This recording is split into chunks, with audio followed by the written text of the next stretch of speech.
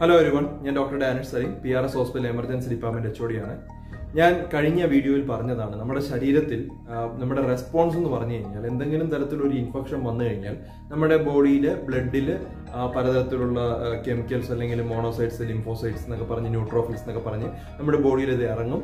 അത് നമ്മുടെ ബോഡിയെ പ്രൊട്ടക്ട് ചെയ്യാൻ വേണ്ടി ഹെൽപ്പ് ചെയ്യും. അതുപോലെ അതുപോലെ തന്നെ നമ്മുടെ ബോഡിയിൽ പല തരത്തിലുള്ള ഓർഗൻസ് ഉണ്ട്. നമുക്ക് സ്പ്ലീൻ ഉണ്ട് അതുപോലെ തൈമസ് ഉണ്ട് അതുപോലെ തന്നെ ലിംഫാറ്റിക് സിസ്റ്റം ഉണ്ട്. ലിംഫ് ലിംഫ് നമുക്ക് എന്തെങ്കിലും ഇൻഫെക്ഷൻ വരുമ്പോൾ നമുക്ക് കടല വരാറില്ല. അതാണ് ലിംഫ് ലിംഫ് എന്ന് പറയുന്നത്. അപ്പൊ അതൊക്കെ നമുക്ക് ബോഡിയിലുണ്ട് ഇതെല്ലാ വഴിയും നമ്മുടെ ശരീരത്തിനെ ഈ ഒരു വൈറസ് കയറിയാൽ പ്രൊട്ടക്ട് ചെയ്യാൻ വേണ്ടി മാക്സിമം ശ്രമിച്ചുകൊണ്ടിരിക്കുകയാണ്.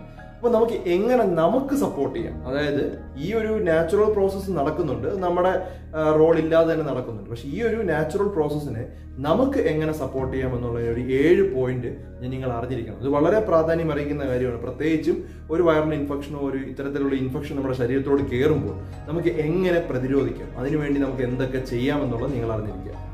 ആദ്യത്തെ കാര്യം ഉറക്കമാണ്. ഉറക്കം എന്ന് പറയുമ്പോൾ ഏഴ് മുതൽ ഒമ്പത് മണിക്കൂർ നിങ്ങൾ ഉറങ്ങിയിരിക്കണം. കാരണം ഉറങ്ങുന്ന സമയത്ത് നമുക്ക് നമ്മൾ ഉറക്കം കുറഞ്ഞു കഴിഞ്ഞാൽ നമുക്ക് സൈറ്റോകൈൻസ് എന്ന് പറഞ്ഞ ഒരു സാധനം നമ്മുടെ ബോഡിയിൽ ഉണ്ടാവുന്നത് കുറയുകയാണ്. സൈറ്റോകൈൻ കുറഞ്ഞു കഴിഞ്ഞാൽ നമ്മുടെ ബോഡിയിൽ ഈ വൈറസിനെ നശിപ്പിക്കാനുള്ള കെമിക്കലാണ് സൈറ്റോക്കിൻ അപ്പം നമ്മൾ കൂടുതൽ നേരം ഉറങ്ങിയാൽ മാത്രമേ എന്ത് ചെയ്യാൻ പറ്റൂ? ഈ വൈറസിന്റെ കെമിക്കൽസോ അതിന്റെ അതിന്റെ പാർട്സോ അതിനൊക്കെ ക്ലിയർ ചെയ്യാൻ. അല്ലെങ്കിൽ ഈ ടോക്സിൻസ് നമ്മുടെ ശരീരത്തിൽ നിന്ന് ക്ലിയർ ചെയ്യണമെങ്കിൽ നമ്മൾ നല്ലോണം ഉറങ്ങണം. ഏഴ് മുതൽ ഒമ്പത് മണിക്കൂർ ഉറങ്ങിയാൽ മാത്രമേ നമ്മുടെ ശരീരത്തിൽ ഉണ്ടാവുന്ന ഇത്തരത്തിൽ ഉണ്ടാവുന്ന സൈറ്റോകൈൻസ് ബാക്കിയുള്ള ബാക്ടീരിയ ആണെങ്കിലോ വൈറസ് ആണെങ്കിലോ അതിന്റെ ബൈ പ്രൊഡക്ട്സ് ക്ലിയർ ചെയ്യണമെങ്കിൽ ആ രീതിയിൽ വേണം നമ്മൾ ഉറങ്ങേണ്ടത്. രണ്ടാമതായിട്ടുള്ള കാര്യം വൈറ്റമിൻ എ ആണ്. വൈറ്റമിൻ എ നമുക്ക് അറിയാവുന്നതുപോലെ ആന്റി ഓക്സിഡന്റ് ആണ് അതിന്റെ കാണുന്നത് ക്യാരറ്റിലും പാലിലും മുട്ടയിലും ഒക്കെ ഉണ്ട്. അപ്പോൾ അത് ദിവസവും നമ്മുടെ ആഹാരത്തിൽ ഉൾപ്പെടുത്തണം. കാരണം എന്താ ചെയ്യുന്നത് പറയുമ്പോൾ vitamin A lymphocyte activation activate ചെയ്യണം. അതായത് ലിംഫോസൈറ്റ് എന്ന് പറഞ്ഞാൽ വെള്ള രക്താണുവിന്റെ ഒരു പാർട്ടാണ്. അത് വളരെ സ്പീഡിൽ ആക്ടിവേറ്റ് ചെയ്ത് ഈ ഒരു വൈറസിനെതിരെ കൂടുതൽ ശക്തിയായിട്ട് പ്രതിരോധിക്കാൻ വേണ്ടി ലിംഫോസൈറ്റിനെ ആക്ടിവേറ്റ് ചെയ്യാണ് പ്രൊളിഫറേറ്റ് ചെയ്യുന്നുണ്ട്. പിന്നെ അത് കൂടാതെ നമ്മൾ ഒരു ടിഷ്യൂ സ്പെസിഫിക് ആണ്. അതായത് ഓരോ സെല്ലിലും എവിടെയാണോ അസുഖമുള്ളത് ആ സ്ഥലത്തിലോട്ട് ടാർജറ്റ് ചെയ്യാനൊക്കെ ഈ വൈറ്റമിൻ എ ഹെൽപ്പ് ചെയ്യുന്നതാണ്. അപ്പം ഈ ഇത്തരത്തിലുള്ള പലതരത്തിലുള്ള ഗുണങ്ങളാണ് വൈറ്റമിൻ എ ആഹാരങ്ങൾ നിങ്ങൾ ആഹാരത്തിൽ ഉൾപ്പെടുത്തിയാൽ നിങ്ങൾക്ക് കിട്ടുന്നത്. പിന്നെ അതാണ് ഏറ്റവും അറിഞ്ഞിരിക്കുന്നത്. പിന്നെ ആന്റിബോഡി നമ്മുടെ ശരീരത്തിന് ആന്റിബോഡി ഉണ്ടാക്കാൻ വേണ്ടിയും നമ്മുടെ ഈ അസുഖത്തിനെതിരെ ആന്റിബോഡി ഉണ്ടാക്കാനും വൈറ്റമിൻ എ ഹെൽപ്പ് ചെയ്യുന്നുണ്ട്. വൈറ്റമിൻ സി രണ്ട് മൂന്നാമത്തത് വൈറ്റമിൻ സി ആണ്. അതായത് ചെറിയ പുളിപ്പുള്ള എല്ലാ ഫ്രൂട്ട്സിലും വൈറ്റമിൻ സി ഉണ്ട്. പ്രത്യേകിച്ചും പപ്പായ ആണെങ്കിലോ പേരക്കയാണെങ്കിലോ മാങ്ങ അതുപോലെ സ്ട്രോബെറി പിന്നെ ഓറഞ്ച് ലെമൺ ഇതിലെല്ലാത്തിലും ധാരാളം വൈറ്റമിൻ സി ഉണ്ട്. നമുക്കൊരു ഏകദേശം ഒരു നൂറ് മില്ലിഗ്രാം ഒക്കെ ഈ ഒരു- ഒരു നെല്ലിക്കയിൽ തന്നെ ഏകദേശം നൂറ്റി അറുപത് മില്ലിഗ്രാം വൈറ്റമിൻ സി കിട്ടും. അപ്പം നമുക്കൊരു ദിവസം അതിൽ താഴെ മാത്രം നമുക്ക് മതി. അപ്പോൾ അതിനെ കുറിച്ച് ഞാൻ വേറൊരു വീഡിയോ ചെയ്തിട്ടുണ്ട്. അത് കാണുക. വൈറ്റമിൻ സി നമുക്ക് മെയിനായിട്ട് ആന്റി ഓക്സിഡന്റ് ആണ്. അതായത് നമ്മുടെ പ്രത്യേകിച്ചും ശരീരം ഉണ്ടാക്കുന്ന തരത്തിലുള്ള ഈ കെമിക്കൽസും മറ്റും ക്ലിയർ ചെയ്യാനൊക്കെ നമ്മുടെ വൈറ്റമിൻ സി ഹെൽപ്പ് ചെയ്യും. അതുപോലെ ഓക്സിഡേറ്റീവ് ഡാമേജ് നമ്മുടെ ശരീരത്തിൽ എന്തെങ്കിലും ഡാമേജ് ഉണ്ടാക്കി അതിനെ റിപ്പയർ ചെയ്യാനും വൈറ്റമിൻ സിക്ക് കഴിയും. പിന്നെ പ്രിവെന്റ് ചെയ്യാൻ പറ്റും. ഈ അതായത് ഡാമേജ് ഉണ്ടാക്കാതെ നമ്മുടെ ശരീരത്തിന് പ്രിവെന്റ് ചെയ്യാൻ വരെ വൈറ്റമിൻ സിക്ക് കഴിയും. ഇനി അടുത്ത നാലാമത്തെ കാര്യമാണ് വൈറ്റമിൻ ഡി വൈറ്റമിൻ ഡി നമുക്ക് കിട്ടുന്നത് വെയിലിൽ നിന്നാണ്. അതായത് പതിനൊന്ന് മണിക്ക് രാവിലെ പതിനൊന്ന് മണിക്കും ഉച്ചയ്ക്ക് മൂന്ന് മണിക്കും ഇടയ്ക്കുള്ള വെയിൽ ഒരു പത്ത് മിനിറ്റ് ദിവസവും കിട്ടിയാൽ നിങ്ങൾക്ക് വൈറ്റമിൻ ഡി പൂർണമായി നിങ്ങളുടെ ശരീരത്തിൽ ഉൽപ്പാദിക്കും ഉൽപ്പാദിപ്പിക്കും. അപ്പോൾ അതിനു വേണ്ടി പിന്നെ നമുക്ക് ആഹാരമായിട്ടുള്ള നമുക്ക് വൈറ്റമിൻ ഡി അടങ്ങിയ മീനുണ്ട്. സാധാരണ മീനിലും അതുപോലെ നോൺ വെജിലൊക്കെയാണ് വൈറ്റമിൻ ഡി കൂടുതൽ. പക്ഷേ അതിനെക്കാട്ടും ഏറ്റവും ഇമ്പോർട്ടന്റ് ആണ് വെയിൽ കൊള്ളുന്നത് തന്നെയാണ് ഏറ്റവും നല്ല നാച്ചുറൽ പ്രോസസ്സ് എല്ലാവരും ചോദിക്കും വൈറ്റമിൻ എയും ഡിയും സിയും ഗുളിക കഴിക്കണോ? അത് തെറ്റാണ്. ഗുളികയും കാട്ടും നാച്ചുറലായിട്ട് കഴിക്കുമ്പോഴാണ് നമുക്ക് ബയോ അബ്സോർഷൻ വളരെ ഹൈ ആയിട്ടുള്ളത്. വൈറ്റമിൻ ഡി നമുക്ക് എന്ത് ചെയ്യുമെന്ന് പറഞ്ഞാൽ നമ്മുടെ ഈ ഇമ്മ്യൂൺ റെസ്പോൺസിന് വളരെയധികം സ്റ്റിമുലേറ്റ് ചെയ്യും. ഒരു ഇരുപതോളം അസുഖങ്ങൾ വൈറ്റമിൻ ഡി പ്രിവെന്റ് ചെയ്യുന്നതായിട്ട് ഈ കഴിഞ്ഞ പത്ത് വർഷത്തിനകത്ത് തെളിയിച്ചതാണ്.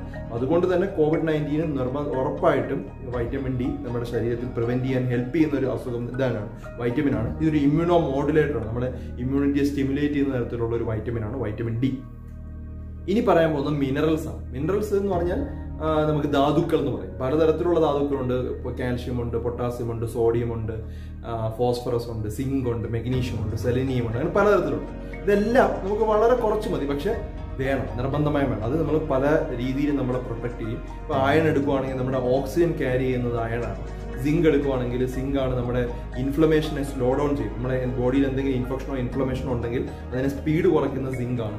സിങ്ക് കൂടുതൽ കാണുന്ന ഓറഞ്ചിലുണ്ട് ഗ്രേപ്പിലുണ്ട് പപ്പായയിലുണ്ട് സ്ട്രോബെറിയിലുണ്ട് ഇതെല്ലാം സിങ്ക് കൂടുതലുള്ള ആഹാരങ്ങളാണ്.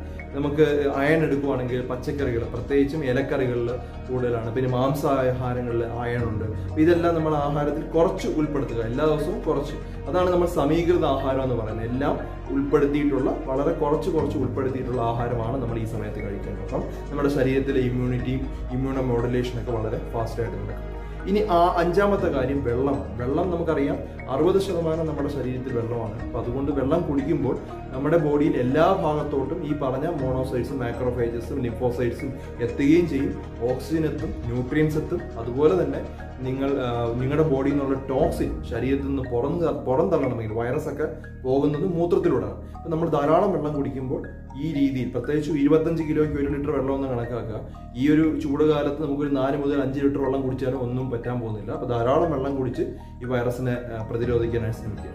ഇനി അവസാനത്തെ കാര്യം ആറാമതായിട്ടുള്ളത് ഏഴാമത്തെ ഏഴാമതായിട്ടുള്ളത് എക്സസൈസ് ആണ്. എക്സസൈസ് നമുക്ക് അസുഖമില്ല നമുക്ക് ശാരീരികമായ ബുദ്ധിമുട്ടില്ലെങ്കിൽ എക്സസൈസ് ചെയ്യണം.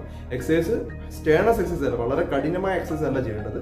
സാധാരണ രീതിയിലുള്ള എക്സസൈസ് ഒരു ഒരു ദിവസം മുപ്പത് മിനിറ്റ് എക്സസൈസ് ചെയ്യാം. ഒരാഴ്ചയിൽ നൂറ്റമ്പത് മിനിറ്റ് കിട്ടുന്ന രീതിയിൽ നമ്മൾക്ക് നല്ലോണം നമ്മുടെ ഹൃദയം അടിക്കുന്ന രീതിയിലുള്ള എക്സസൈസ് അങ്ങനെ രീതിയിലുള്ള എക്സസൈസ് ചെയ്യുവാണെങ്കിൽ എല്ലാ സ്ഥലങ്ങളിലേക്കും എല്ലാ കോശത്തിലേക്കും നമ്മുടെ ബ്ലഡ് എത്തുകയും ഓക്സിജൻ എത്തുകയും ന്യൂട്രിയൻസ് എത്തുകയും ഈ പറഞ്ഞ ലിംഫോസൈഡ്സ് ഒക്കെ എത്തുകയും എല്ലായിടത്തും നല്ല ഫ്രഷ് ആയിട്ടിരിക്കുകയും ചെയ്യും. അപ്പോൾ അത് വളരെയധികം ഇമ്പോർട്ടന്റ് ആണ്. നമ്മുടെ ഇമ്മ്യൂണോ സർവേലൻസ് ഒരു ഒരു പാത്തോജൻ എവിടെയെങ്കിലും ഉണ്ടെങ്കിൽ ഇപ്പോൾ ഒരു സെല്ല് എന്റെ ഈ ഭാഗത്താണ് ഉണ്ടെങ്കിൽ പോലും നമ്മൾ പ്രോപ്പറായിട്ട് എക്സസൈസ് ചെയ്യുവാണെങ്കിൽ ആ ഭാഗത്തോട്ട് കൂടുതൽ ടാർഗറ്റ് ചെയ്ത് നമ്മുടെ ഇമ്മ്യൂണിറ്റിയെ കൊണ്ടുവരാൻ എക്സസൈസ് ചെയ്യുന്നവർക്ക് കഴിയും. അത് എക്സസൈസ് വളരെ പ്രാധാന്യം അറിയിക്കുന്ന കാര്യമാണ്. നമ്മുടെ ഹൃദയത്തിന് നല്ലതാണ് നമ്മുടെ കിഡ്നിക്ക് നല്ലതാണ് ലിവറിന് നല്ലതാണ്. അപ്പോൾ അതുകൊണ്ട് എക്സസൈസ് ഈ പറഞ്ഞതുപോലെ തന്നെ ചെയ്യാൻ ശ്രമിക്കുക. ഈ ഏഴ് കാര്യങ്ങളാണ് നിങ്ങൾ നമ്മുടെ ഇമ്മ്യൂണോ മോഡുലേഷൻ അല്ലെങ്കിൽ നമ്മുടെ ഈ സമയത്ത് അസുഖത്തിന് നമ്മുടെ ശരീരത്തിനെ സപ്പോർട്ട് ചെയ്യാൻ വേണ്ടി ചെയ്യേണ്ട ഈ ഏഴ് കാര്യങ്ങളാണ്. അഞ്ച് കാര്യങ്ങൾ നിങ്ങൾ ഒഴിവാക്കണം. ഒഴിവാക്കേണ്ടത് ആദ്യമായി ജങ്ക് ഫുഡ് ഒഴിവാക്കണം. സി നമുക്ക് കേട്ടിട്ടുണ്ട് പ്രായം കുറഞ്ഞ ആളുകൾ കോവിഡ് കാരണം മരിക്കുന്നുണ്ട്. അതിന്റെ കാരണം നമ്മുടെ ശരീരത്തിലെ പ്രതിരോധ ശക്തി തന്നെ നമ്മുടെ ശരീരത്തിനെതിരെ പ്രവർത്തിക്കുന്നതിനാണ് ഈ മരണത്തിന്റെ മെയിൻ കാരണം. അതിന് മെയിൻ കാരണമാണ് ജങ്ക് ഫുഡ് ജങ്ക് ഫുഡ് കഴിക്കുമ്പോൾ സ്ഥിരമായി ജങ്ക് ഫുഡ് കഴിക്കുന്ന ഒരാൾക്ക് എന്താ പറ്റുന്ന പറഞ്ഞാൽ അവരുടെ ബോഡിയിൽ ക്രോണിക് ഇൻഫ്ലമേഷൻ ഉണ്ടാകുകയാണ്. അപ്പൊ അതുകൊണ്ട് തന്നെ അവരുടെ ഇൻഫ്ലമേറ്ററി റെസ്പോൺസ് വളരെ സ്ലോ ആണ്. അത് തന്നെ നമ്മുടെ ശരീരത്തിനെതിരെ ഈ ഒരു അസുഖം വരുമ്പോൾ നമ്മുടെ ശരീരത്തിനെതിരെ ഈ ഉണ്ടാക്കുന്ന ഇമ്മ്യൂണിറ്റി തന്നെ നമുക്കെതിരെ തിരിച്ച് പ്രവർത്തിക്കുന്നതായിട്ട് കാണാം. അതുമാത്രമല്ല നമ്മുടെ ബോഡിയിലെ ന്യൂട്രിയൻസ് വളരെ കുറച്ചായിട്ട് അബ്സോർവ് ചെയ്യും അങ്ങനെ പല പലതരത്തിലുള്ള പ്രോബ്ലംസ് ഈ ഒരു ജങ്ക് ഫുഡ് കാരണം ഉണ്ടാകാറുണ്ട് പിന്നെ രണ്ടാമതുള്ളത് ആൽക്കഹോളാണ് മദ്യം.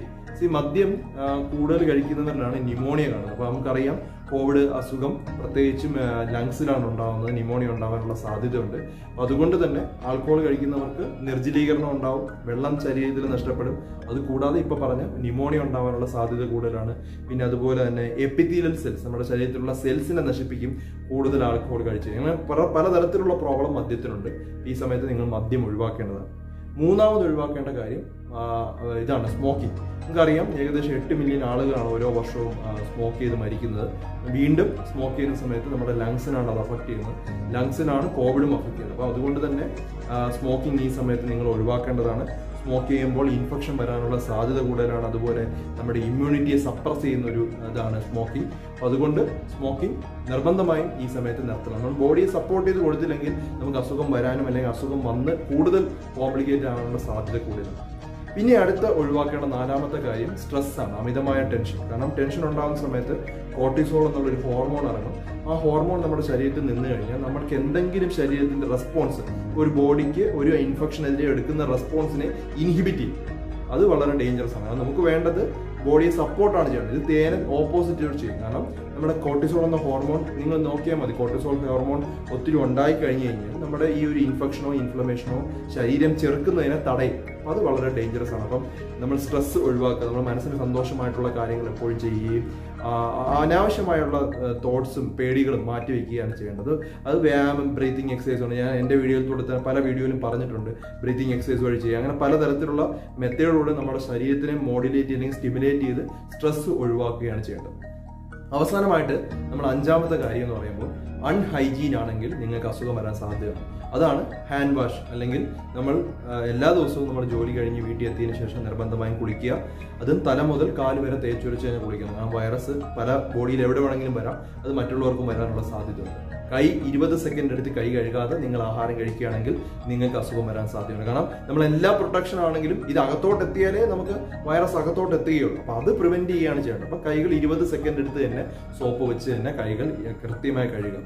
ഈ ഒരു അഞ്ച് സാധനം unhygienic practice alcohol smoking stress അതുപോലെ തന്നെ ജങ്ക് ഫുഡ്സ് ഇതെല്ലാം നമ്മൾ ഒഴിവാക്കുക.